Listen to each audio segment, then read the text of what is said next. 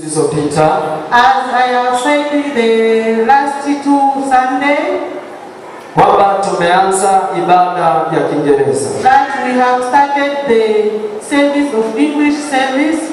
Naomba niwakumbushe tena, Let me remind you that Ah, nachojua hapa tuna wasomi wengi, what I know that we have the educated, many educated in our tuna wanafunzi wengi. We have many pupils or students in our church, Ah, lakini kwenye ibada zetu huwa hawaji. but in our service, we, they don't come.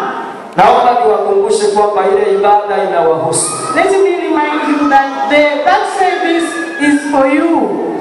Sasa naomba niwaalike wote kabisa, So let me welcome you, all of you. lakini bii yake And also, sio wewe peke yake, lakini watu wote wakasoma. Not only you, but also people, all people from Kasulu. watu wanaoishi kwenye mti wa kasuru, All people who are living in Kasulu. Naomba niwakaribishe kwa moyo wa unyenyekevu Let me kabisa, welcome you to come in church kwa sababu tuna ibada ya Kiingereza. because we have the service of English. Watu wote wa, ambao ni wageni All people who are newcomers, wasiojua Kiswahili, who they don't know Swahili, hapa tuna ibada inayokuhusu. we have the English service.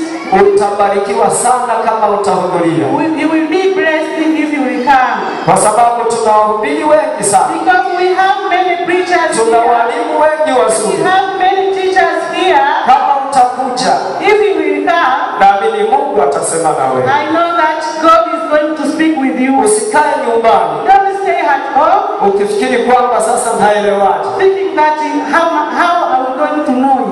Ibada inayokuhusu ipo hapa, So the service which is for you is here. na ibada hiyo tunaianza saa mbili asubuhi And that, that service we, we, we are starting in,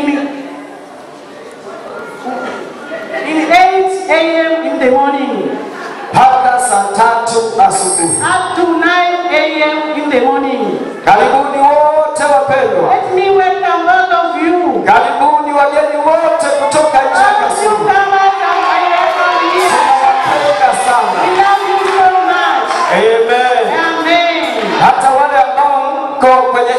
in tofauti katika dunia yote, in the whole world, tunawapenda sana. so Ninyi ni ndugu zetu, You are our relatives. karibuni tubarikiwe pamoja. Mungu wa mbinguni na awabariki.